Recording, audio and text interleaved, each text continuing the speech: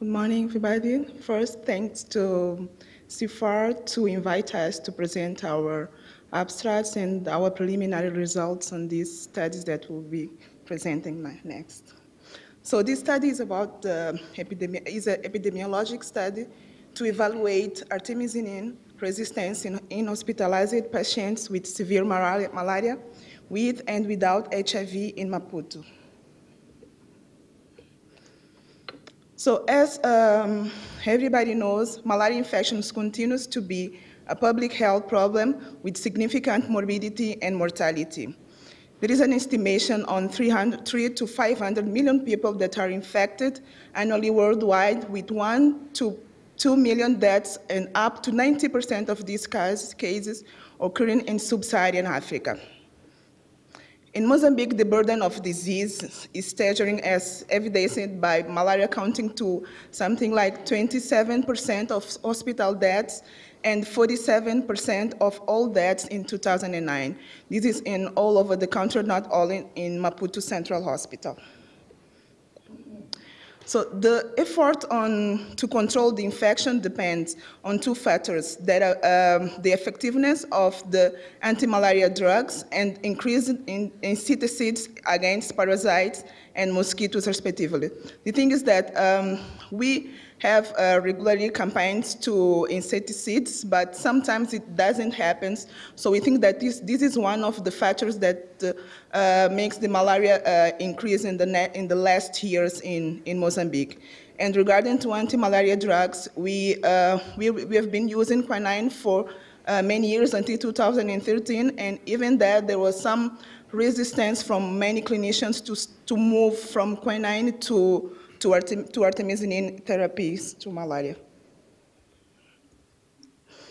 So um, resistance to, artemisinin-based therapy has been reported in, in countries like Thailand and Cambodia, and is significant health threat, uh, public health threat, as it is the first-line therapy recommended for, by WHO for all the countries has malaria. Um, a retrospective, retrospective study that was done in the ICU in Maputo Central Hospital showed that there was an increase in mortality in 2012 to 2003 and 2013, sorry, 13 to 14, that was raising the possibility of uh, artemisinin resistance development. This is an unpublished data that we uh, we could collect using the data from the patients that will be uh, hospitalized at ICU. And uh, it's important to say that the artemisinin became the drug of choice from 2013, and at that time at the ICU, there were people doing artemisinin or therapy, or some people doing on quinine, so we don't know exactly the difference in between the, those groups.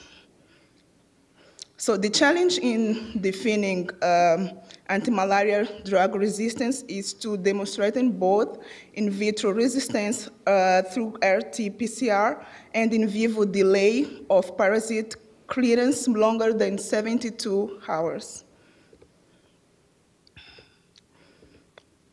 Talking about the malaria and uh, HIV interaction, that was uh, the aim of our, our study. We know that in Mozambique in 2009, Estimates show that uh, approximately 2.5 million deaths were attributed to malaria and or to HIV infection and these related uh, diseases.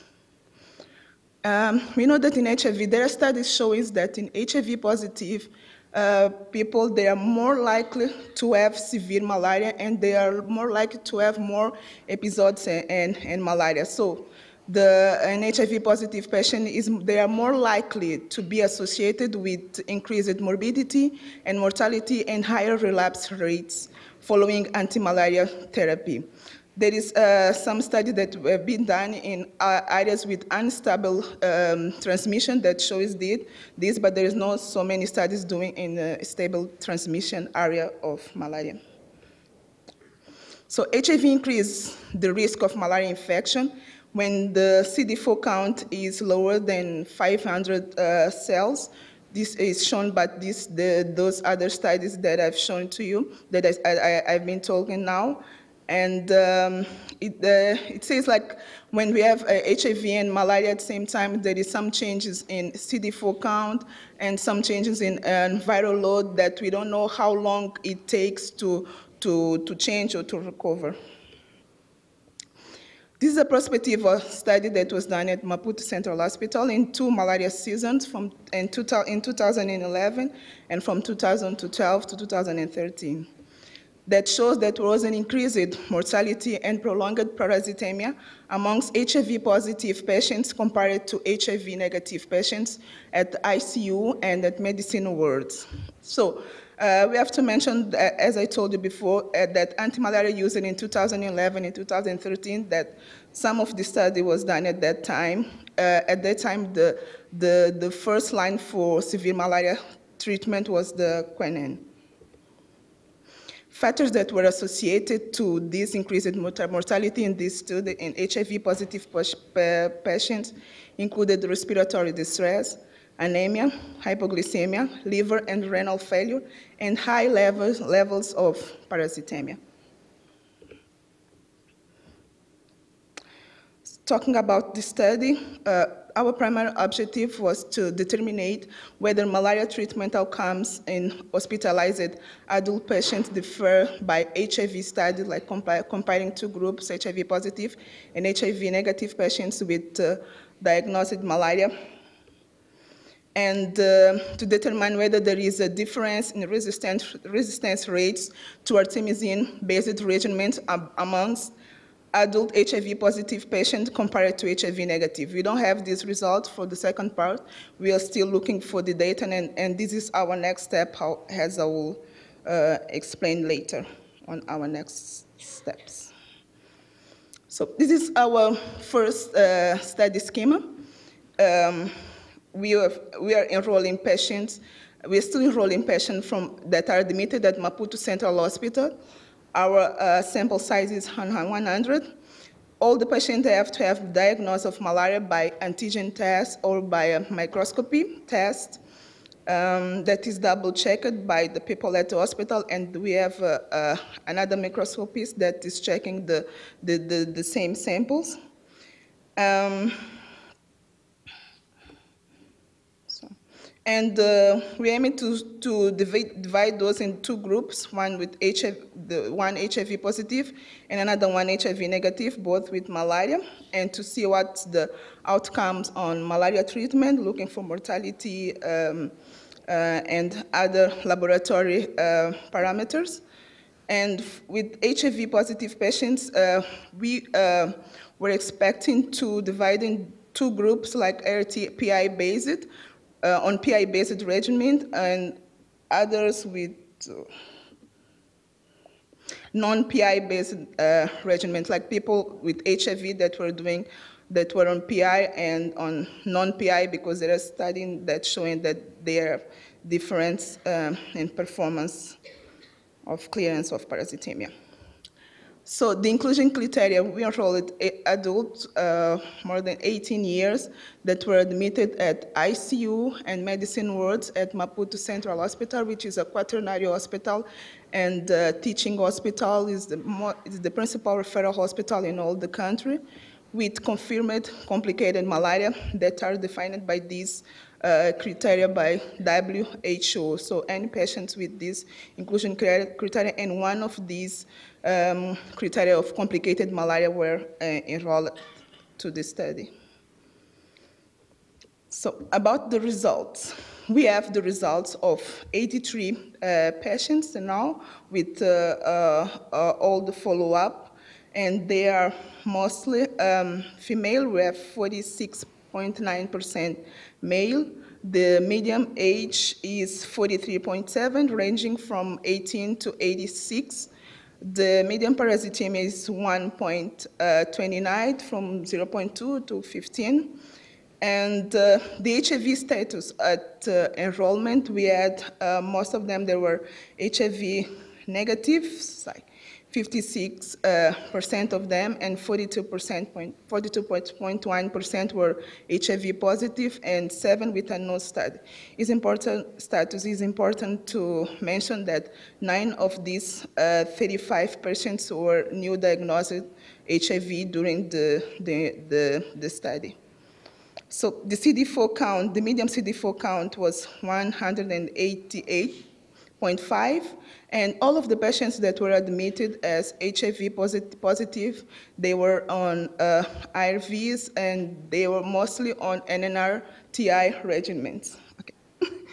uh, talking about the outcomes, uh, the in-hospital mortality comparing both groups, sorry, um, we had like six people that died, six persons died HIV positive and uh, five in HIV negative group with no statistical difference between those groups.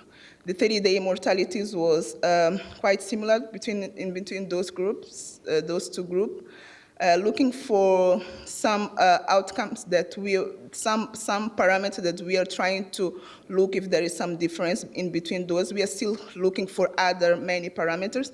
So the creatinine, the hemoglobin, and the platelets were quite similar in both groups without any um, statistical uh, difference in between the groups.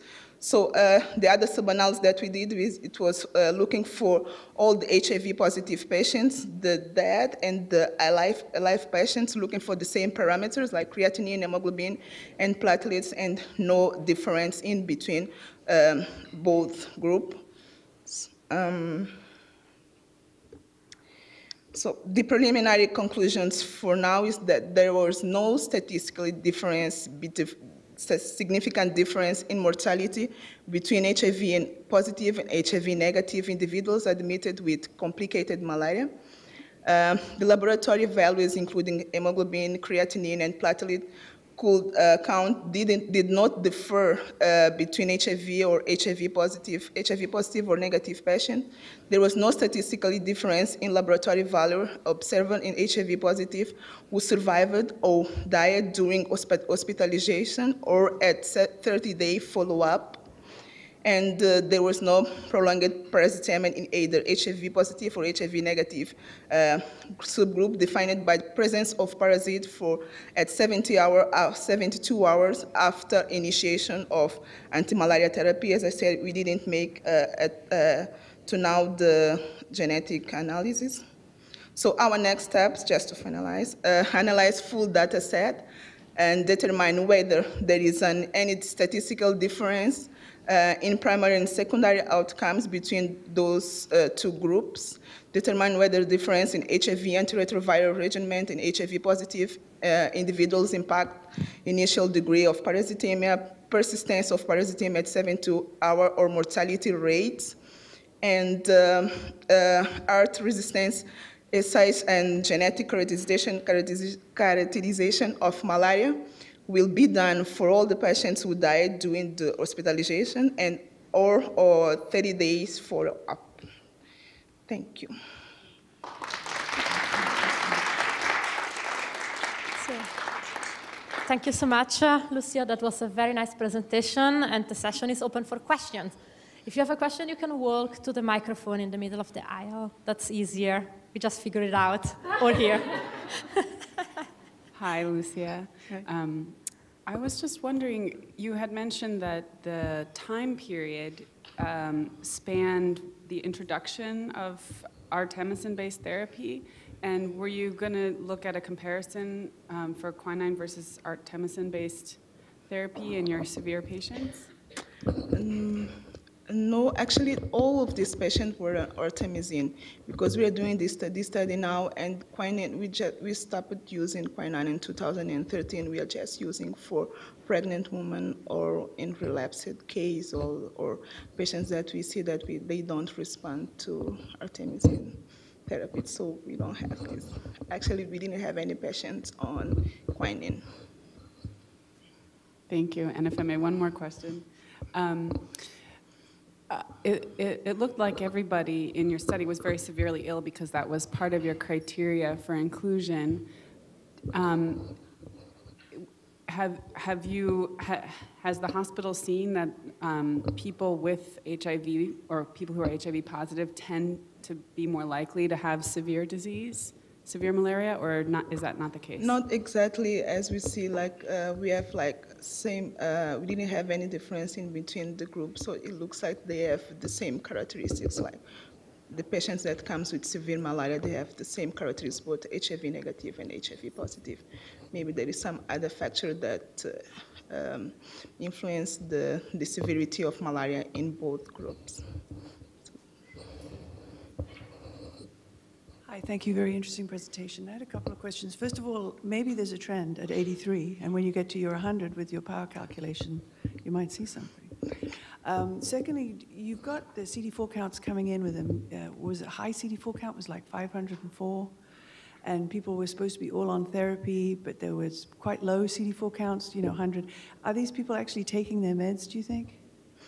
That is uh, uh, one of, of our concerns is that maybe some of these patients, they are on failure. The population that are going to the hospital at the last years, uh, we don't have many people that we knew diagnosed with HIV, now, but we have people that are on treatment, but they are on failure of, of HIV maybe they are don't taking the medication or maybe there is some other factors like pharmacokinetics or some problem with NNRTIs that uh, yes. Do you have viral loads on those people? No, we don't have okay. because uh, we uh, we didn't add any tests other than the the the the doctors uh, were, were adding, and we don't do the viral load routinely at Maputo Central Hospital. We only do the viral load for people that are suspected on failure, and this is doing at the primary care, not exactly at Maputo Central Hospital. Really? Okay, so the other thing I was going to ask you was um, how many of these people who are really sick with malaria are coming in from the rural areas? And I mean, I know that Maputo is pretty dense. But um, you don't have a very high malaria incidence in central Maputo, right? Some of the people, most of the people that we, we didn't show this analysis, many of the people, they were coming from Matola. Matola is close to Maputo, but uh, they have uh, rivers and the control of parasites is quite different from in Maputo uh, city, but we still have some cases from Maputo city that maybe they are because of water uh, problem or something like that. But we have both people coming from rural area and from, from Maputo city. Well, it's very interesting. Great work. Thanks. Thank you. Thank you. Any more question for Lucia? Yes. Did you record uh, among the HIV patients uh, how many of them had been on cotrimoxazole prophylaxis? And were their clinical courses different? Um, we did have this data. We didn't analyze yet, but most of the patients, uh, they were on cotrimoxazole, but this will be one of the secondary analyses that we'll, we'll, going to, we're going to do. We asked that on our questionnaire if they were on cotrimoxazole, as we know that is some of ways of pre prevention of malaria. Any more questions? Can I ask you one question? So, what about the uh, severe case uh, of malaria in the HIV negative population? Because, of course, like it makes sense that HIV positive would have uh, more severe malaria. But do you think there is an underground reason why uh, in Maputo HIV negative people end up having as much severe malaria as HIV positives? Um, there is some other factors that we have to, to look for, and one of them is that there are some other factors that can affect, like the nu nutritional status and um, delay of going on going to the hospital, the distance in between their houses to the hospital, because as you see, many of the patients they were on severe malaria, and most of these patients they only can be treated at Maputo Central Hospital. is the only place where we have. Uh, a real ICU where we can intubate the patients doing ventilation like some of these patients had to do. So there are some other factors that we need to look for other than uh, HIV status as, as we didn't see any difference till now. Well, thank you very much, Lucia. That was great